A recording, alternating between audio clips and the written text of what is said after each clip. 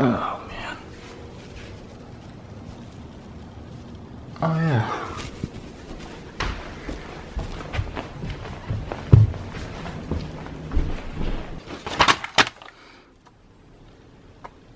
That's the night.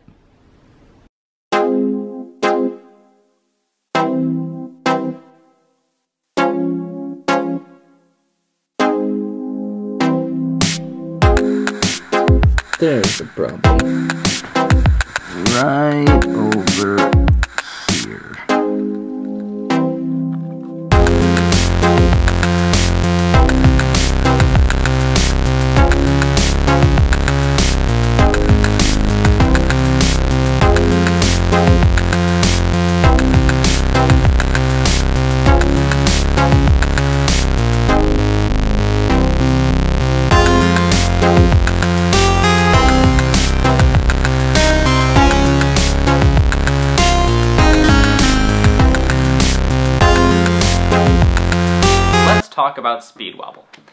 So on every skateboard, there are things called trucks. These green things are trucks. They hold the wheels, and they control how easily the skateboard tilts from left to right. The looser the trucks, the easier it is to tilt in one direction, and the easier it is to turn. The faster you go, the faster you turn. The looser your trucks, the easier you turn. I had loose trucks, and I was going about 30 miles an hour. All that together equals speed wobble. Let me show you exactly where I wiped out. Now considering that I live in suburban Illinois, hills are not something that you think I would encounter. Unfortunately, the area where I was skating has two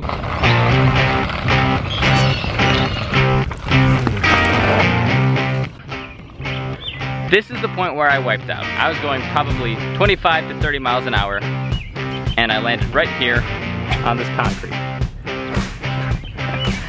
It hurt a lot, but I didn't feel it. It's really amazing what the human body can do because I didn't even realize that I had broken anything until I had gotten into the emergency room and had sat there for about an hour and a half. At that point I realized I had broken something and that something was probably my elbow.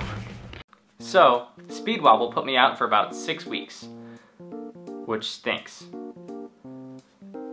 It could have been so much worse though. I only left with a fractured elbow. It could have been my head. I wasn't wearing a helmet, and uh, I only left with a fractured elbow and some scrapes all over my arm. This broken elbow really set me back. I plan on making a vlog every day for the whole summer. That included all the traveling that I plan on doing in, in about two weeks. But because I have this broken arm, it's going to be very difficult. So far, I have to use my left hand to do everything. I can barely hold any weight in my right arm. So, holding camera equipment, editing video, and getting around while using a camera is going to be super tough. I'm not going to let it set me back. So, my commitment to you is to make a vlog a day for the whole summer. And starting today, I'm going to a concert. Time to change. Better. Alright, so I'm about to go get some sushi at my favorite sushi place with Tim. He's picking me up and then we're going to the concert. But I think I think he's waiting for me outside and you do not want to leave Tim waiting. I'm coming! Ready to go?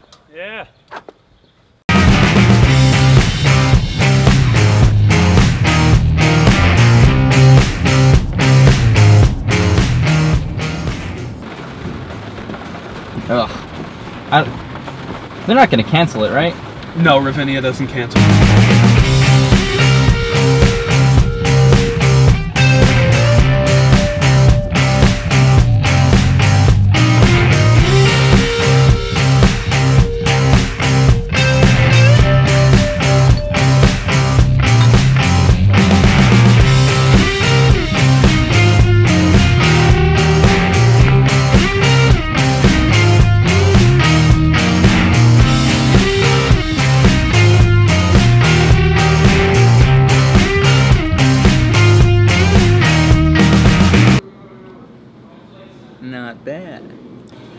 Great sushi.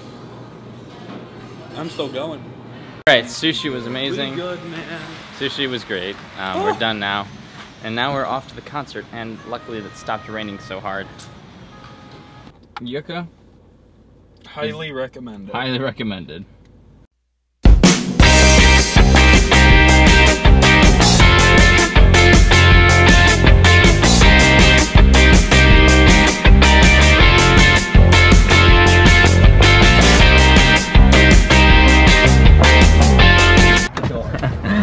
Taking a pit stop because one of my wounds is kind of oozing, and I I'd feel better if it was covered. So we're stopping at a uh, at a Jewel. Okay, so let's take one of these. Plastic pads. Large rolled gauze. That's important. Just come out. Thank you. Oh, there's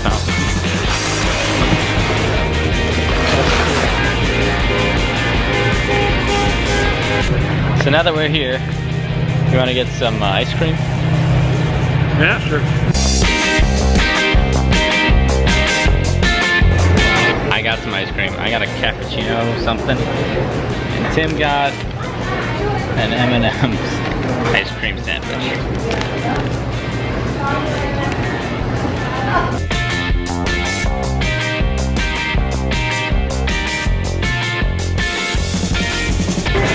So we're seated in the pavilion right now.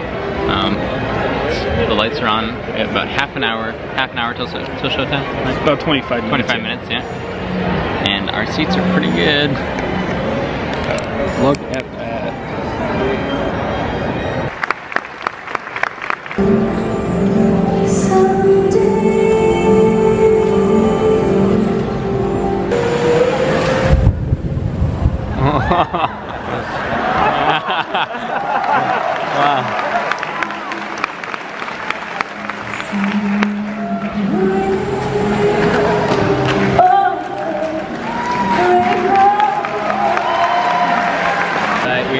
intermission, but it's like a deluge outside, and everyone's kind of freaking out and trying to get close to the center It's pretty seats. bad, but Uh, we actually cool. we got moved, and we're a little bit closer to the center now, so it's kind of cool.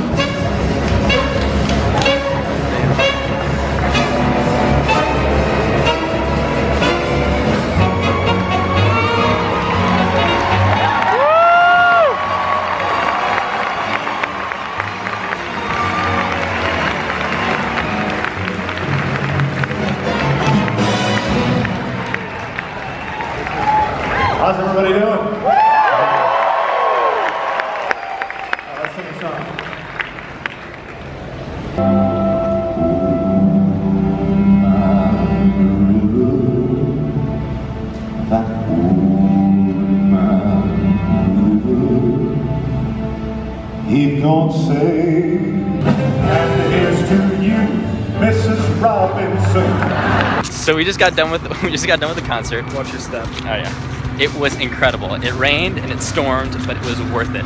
Everyone packed in to the uh, to the middle. Yeah, so we even got better seats than we had initially Cars out. paid for, which is awesome. Um, and what's better is He that met the conductor. I met the conductor. We stayed about, I don't know, 10, 15 minutes after everyone left, and we kind of waited by this uh, back door area, hoping to maybe meet Seth, because that'd be awesome for the vlog. yeah. But instead, I met Joel McNeely, who is the conductor and orchestrator for a lot of uh, Seth's, Seth's pieces, and he uh, Wrote a million ways to die in the West. he wrote A Million Ways to Die in the West. He writes for American Dad. It was just so cool. I'm still a little bit starstruck, but um, man, what a great way to end the vlog. um, so thanks for tuning in um, Bug's right there. to this episode. Um, I'll see you tomorrow. But today has been incredible, and thanks for coming along for the ride. Glad I couldn't come, man. All right. Also, my camera died, so that's why this is on my phone. All right. Good night, guys. bye bye. We're drinking, my friend to the end of a brief episode.